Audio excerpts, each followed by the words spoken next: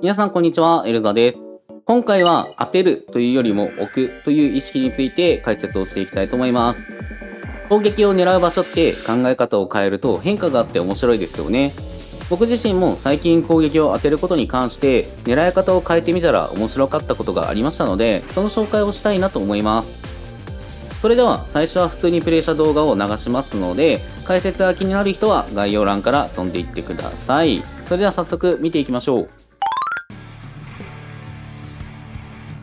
はい今回もマテガイです、まあ、前回の解説もマテガイだったような気がするんですけどマテガイラッシュですね。さて相手弓と。あー、ナイス玉多そうな編成だな。で、ダイナモが意外としんどそう。なんでね、ちょっとフィンセントさん暴れるかどうかが鍵になりそうだね。あ、いつも通り上を取っていこう。ナイスキル初手1キル取れるとめっちゃ楽しいよね。マテガイはね。マテガイはなんかそれで流れ決まるところあるもんな。ナイスワイプ。で、ええーと、そうだな。足場の縫い大丈夫だろうけど、一旦、右。これ抑え込みたいね右いるじゃんよし顔出してくれた甘えでキル取れたねおおナイスムー。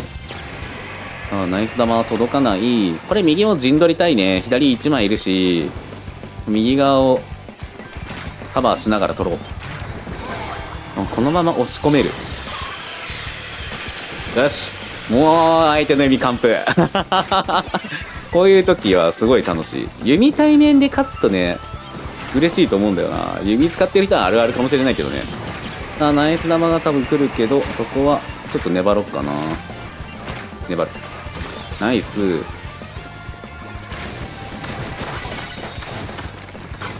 ああこうなってくるとちょっときついね。ああこれは無理。確保されたか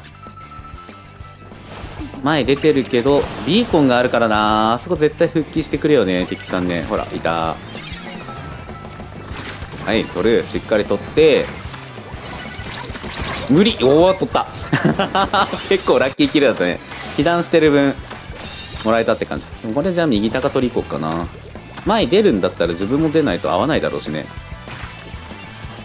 はい、さっきと同じように、右と正面を見る。ちょっと今度はピンクに潜りながらねほら降りてこい左は OK いてー。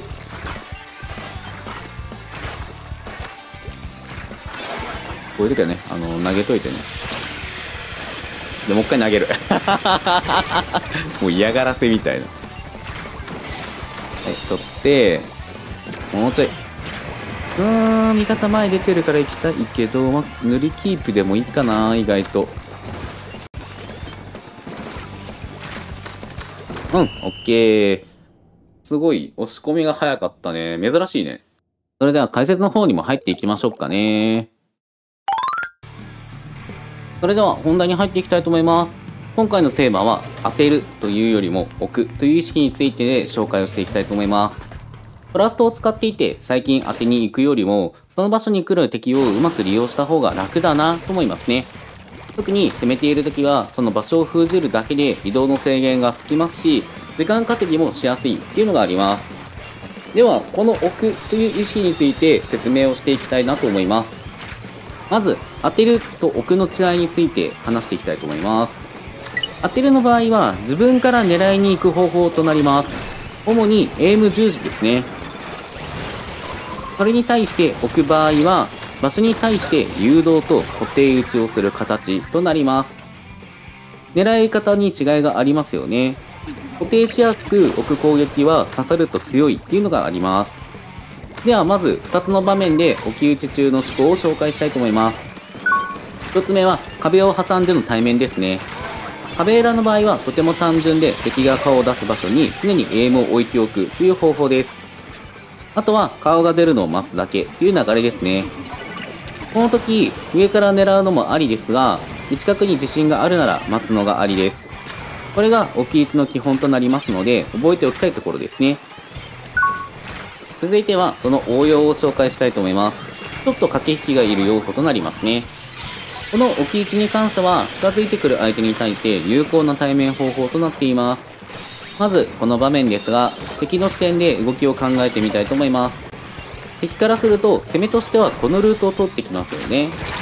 弓に詰めるなら強気なので向かって左に動きながら移動してくると思います。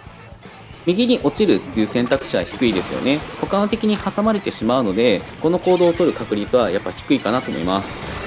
で、こうなった場合なんですが、動きが止まる瞬間やジャンプを狙って下がりながら左に動くのを待ちますこの待ちの状態を置くとしますここで一回外してしまいますがこの後さらに詰めてくるのが読めるので相手の移動先を押さえます。今回はこの角ですね。綺麗にダメが取れましたね。続いて左右どちらかに抜けてくる可能性があるこのシーンですね。この辺りに来ることを予想して攻撃を置いています。まあ、スライド武器なら左の広い方を抜けてきそうだなっていう予想もしてますね。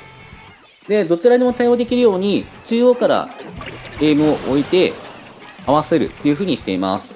あとは敵の動きに合わせるだけですね。ここら辺は瞬発力とかそういうのがいります。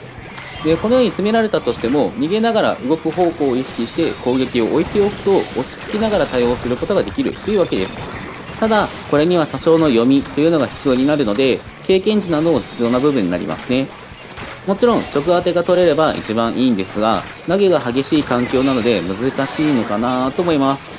2発以上しっかり当てれるように逃げながら置く場所を常に意識すると相手が嫌がります。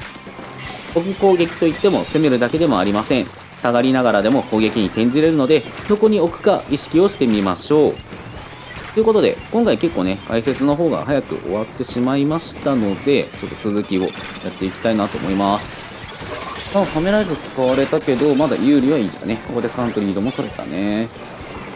結構ね、いい感じに足場とアシストで稼いでるんで、抑え込みがいいね。帝王イカさんが大暴れだね。いや、でも帝王イカやっぱ、距離伸びて強くなったよね。たただちょっとご利用ししすぎてたね相手さんはね、まあ、ポイズンを投げて嫌がらせをしたら左を取ろう。ああそこの裏隠れてんだよな。まあでも焦らずやね。はい直これも取りたいよし 逃げる方向にやっぱ打つといいねあそこもやっぱ逃げるところに行くだろうなっていう、あの場所に置いてます、攻撃を。予測と合わせて。逃げ場所の方を覚えて置くっていうことするとね、今みたいなキルが取れるんで、精度上がってくるよね。1角じゃないけど2発目、3発目の精度が上がるっていう感じかな。で、ここら辺も見えたから、まあここ、攻撃しておこうみたいな。あ、抜けられてきたけどね。裏なんか音するね。来たね。強気 強気その帝王ははいここも取ってでメガホン結構強気な攻撃だったな今の危ないけどねはいということで試合の方は無事勝ちましたとああ今回味方がねぐんぐん押してくれてたのもあったしメインが刺さってたねまあ、ただナンプラに関してはね、攻撃起きるとだいぶ楽なんで、ちょっとそのあたり意識してもらえるといいかなと思います。ということで、ご視聴ありがとうございました。まだまだスプラン動画やその他のゲームを随時投稿していきますので、応援してくれる方はチャンネル登録と高評価お願いします。それではまた次回お会いしましょう。バイバイ。